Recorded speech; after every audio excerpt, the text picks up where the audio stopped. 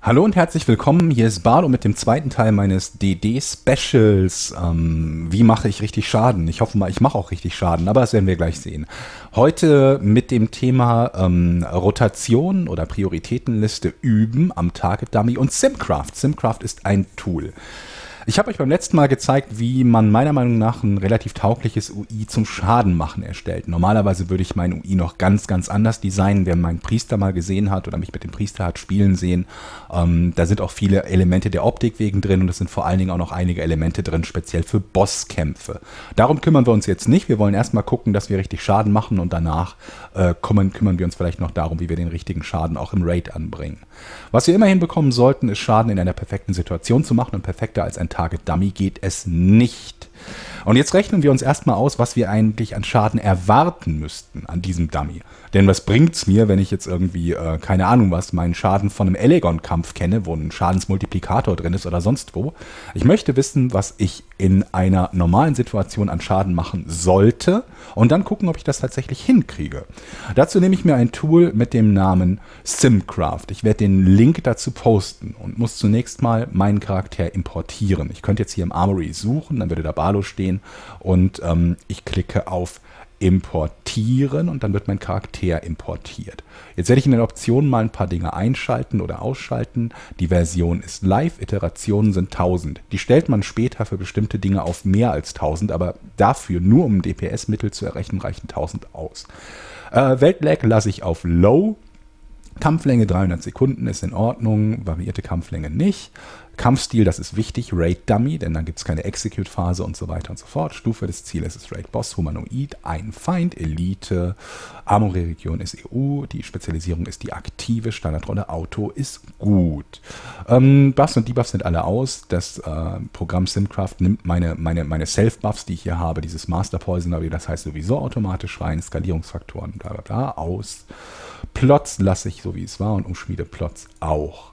So, das nächste, was ich unter Simulieren machen muss, ist noch ein paar Dinge rausnehmen. Denn Simcraft simuliert normalerweise Raid-Bedingungen, das heißt auch eine Flask und Buff-Futter und eine Pre-Pot, nämlich die Vermin-Spite Potion. Das mache ich aber zum Testen natürlich nicht. Und der Rest hier in diesem Skript müsste eigentlich ansonsten stimmen.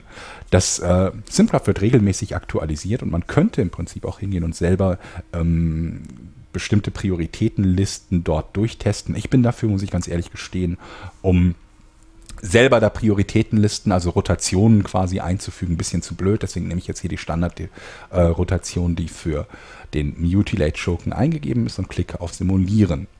Jetzt wird uns ein Wert ausgegeben, hier 54.617 DPS im Mittel bei 1000 Iterationen sollte ich unter den genau eingestellten Bedingungen als Mutilate-Schurke machen können. Und jetzt wird getestet.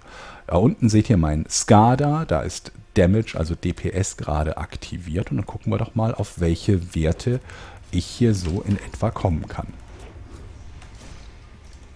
und ob es sich tatsächlich zumindest in der Nähe von dem bewegt, was ich laut Simcraft erreichen sollte.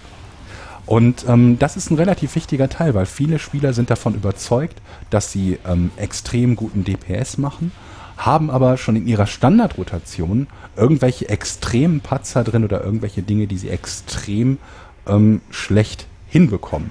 Und es ist auch nicht wichtig, ob ihr mehr oder weniger Schaden macht als irgendein beliebiger anderer Spieler. Es ist auch nicht wichtig, ob ihr ähm, den höchsten DPS im, äh, im Raid macht oder nicht. Das Einzige, was wichtig ist, ist die Frage, macht ihr für eure Spec und euer Gear, das ihr gerade tragt, den tatsächlich äh, nicht optimalen Schaden, aber zumindest ähm, einen Schadenswert, der nah dran ist. Und das lässt sich kaum besser testen, ob diese Basisrotation stimmt, als eben an der Bosspuppe. Und vor allen Dingen, falls sie noch nicht stimmen sollte, könnt ihr dort auch perfekt optimieren. Wir kämpfen gerade, die Hauptcooldowns sind schon abgelaufen und jetzt warte ich eigentlich nur noch so lange, auch wenn ich als Kampflänge 500 Sekunden eingestellt habe, aber ich warte jetzt einfach mal so lange und ziehe jetzt hier meine Rotation durch, bis meine Cooldowns tatsächlich wieder da sind. Je länger der Kampf dauert, den ihr macht, desto wahrscheinlicher nähert ihr euch einem Mittel an, das tatsächlich verlässlich ist. Je kürzer der Kampf ist, desto stärker sind Zufallsfaktoren wie Crits oder Procs und vor allen Dingen, ob diese Crits oder Procs gleichzeitig sind mit irgendwelchen anderen Multiplikatoren oder mit anderen Cooldowns. Das fällt dann noch stärker ins Gewicht, wenn der Kampf relativ kurz ist. Je länger der Kampf dauert, desto zuverlässiger seht ihr, ob der Wert tatsächlich stimmt. Ganz ehrlich, ich behaupte, ähm, für den Normalfall anzupeilen, ähm, bei was weiß ich was, keine Ahnung, ungefähr einem Wert zu landen, der bei 90% vom Simcraft-Wert liegt, wäre schon super. Äh, und das sage ich deshalb, weil ich viele, viele Situationen schon gesehen habe, in denen Spieler weit, weit weit unter den 90 Prozent äh, lagen von dem, die, äh, was sie hätten machen können, teilweise unter 50 Prozent von dem, was sie hätten machen können. Von daher, wenn ich sage, wenn jeder DD in dem üblichen Raid 90 Prozent von dem hinbekommt, was er mit seinem Gear und seiner Spec, und nur das ist wichtig, hinbekommen müsste, dann können wir alle zufrieden sein. Das ist natürlich bei den tatsächlichen Boss-Encountern dann oft etwas sehr, sehr anderes, denn nicht bei jedem Boss könnt ihr auch diese Schadenswerte erreichen. Es wird ein paar geben, wo ihr mehr macht, zum Beispiel wenn es äh, große Damage-Buffs gibt, wie zum Beispiel bei Elegon. Es gibt aber auch einige Kämpfe, wo ihr deutlich weniger macht als, ähm, als das Optimum unter Raid Buff-Bedingungen ist, ganz einfach, weil ihr euch viel bewegen müsst oder viele Targetwechsel drin habt und so weiter und so fort.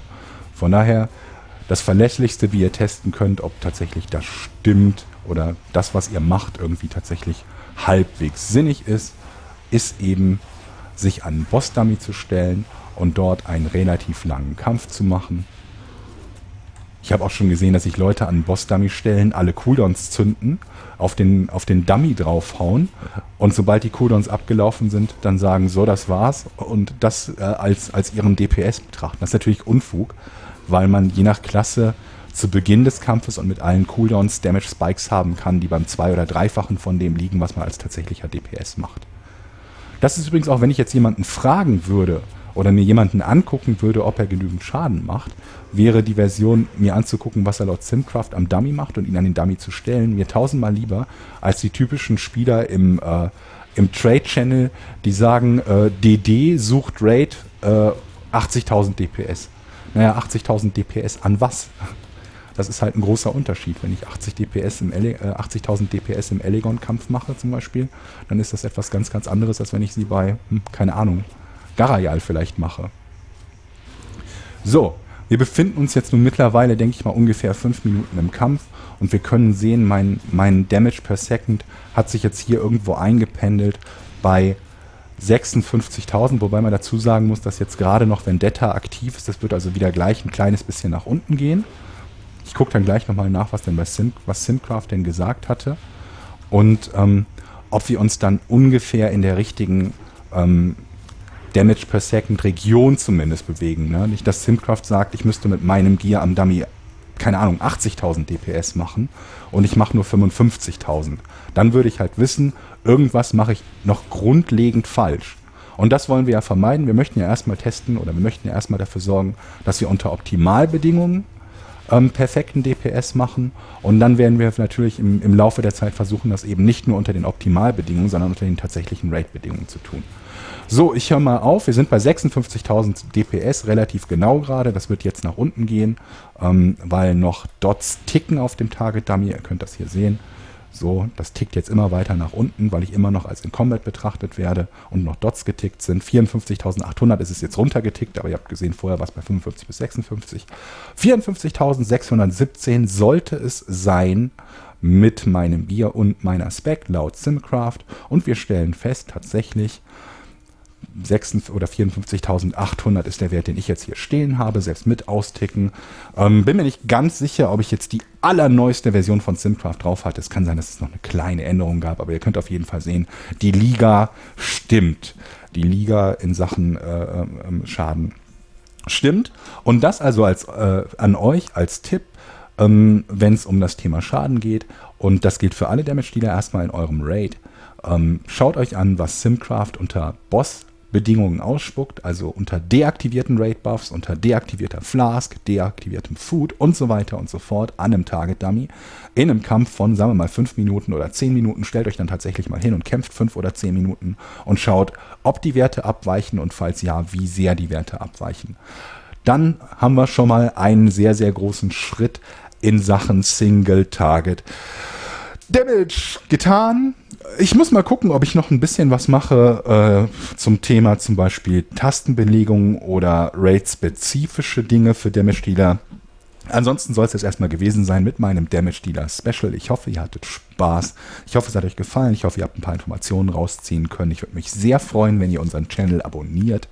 Bis dahin, tschüss, sagt euer Onkel Barlo.